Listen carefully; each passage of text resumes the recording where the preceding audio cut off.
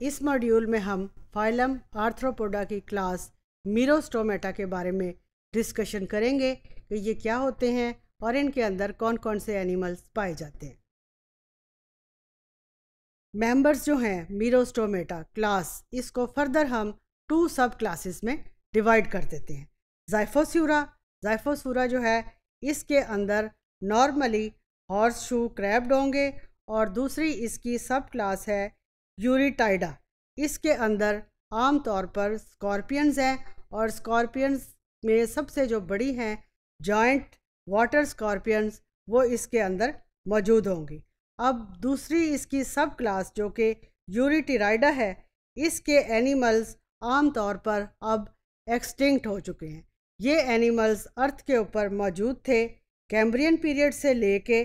Permian period तक। Cambrian period जो है वो आम तौर पर 600 मिलियन ईयर्स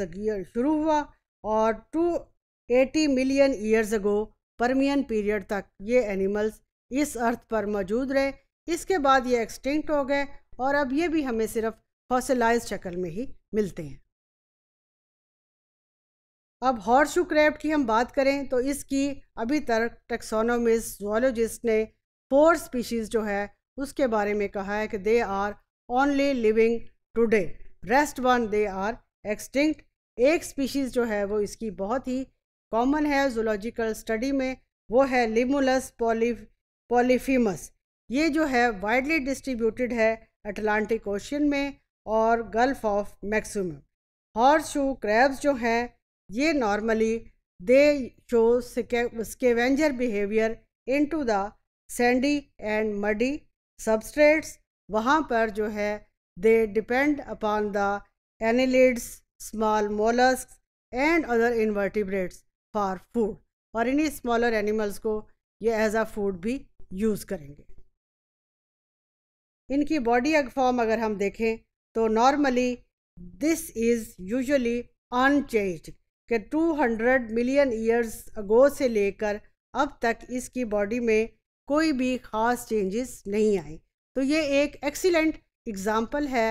स्टेबलाइज सिलेक्शन की, जो कि एवोल्यूशन के अमल में एक इंपॉर्टेंट रोल प्ले करता है। फिर इसके अंदर hard, horse shoe shape carapace मौजूद है। कैरापेस इज़ अ कवरिंग, जो कि इस लिमुलस या किंग क्रैब की सिफेलोथॉरिक्स को कवर कर रहा है।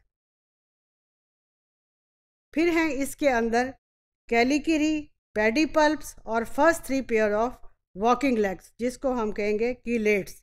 ये जो है, ज़्यादातर वॉकिंग में यूज़ होंगी फ़ूड हैंडलिंग में यूज़ होंगी. अब जो लास्ट पेयर है अपेंडेजेस का that is normally having a leaf like plate leaf like plate is at its tip and is use for locomotion and digging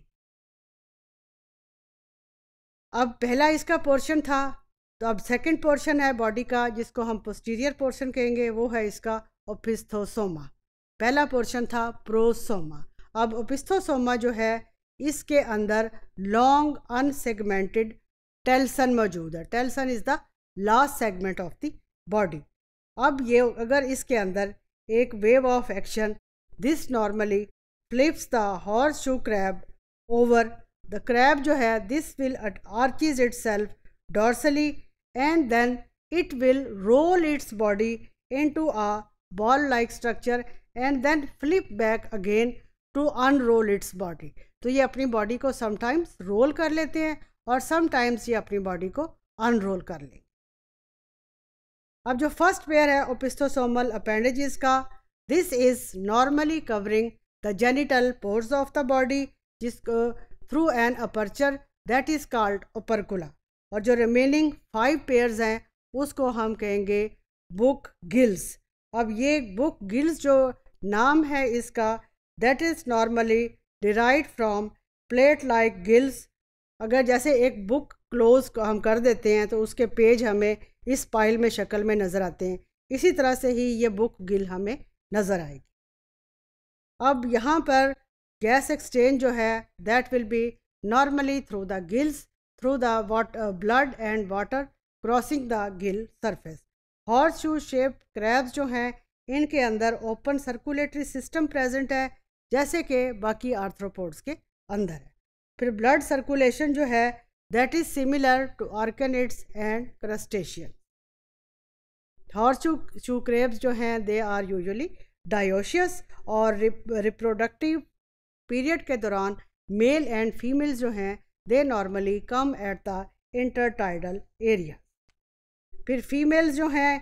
male after mating of male and female fertilised eggs जो हैं they are covered in the and normally they remain unattended till the time they develop. This is the typical shape of Limulus और king crab अभी हमने पढ़ा सिफेलोथोरिक्स के बारे में, जिसको हम प्रोसोमा कहेंगे। लेटरल आइज़ हैं, मीडियन आइज़ हैं, फिर है ओपिस्थोसोमा, इसमें प्री एबडोमन है पोस्ट एबडोमन है and this is the telson last segment तो this is an excellent example of the animal representing class Merostomata.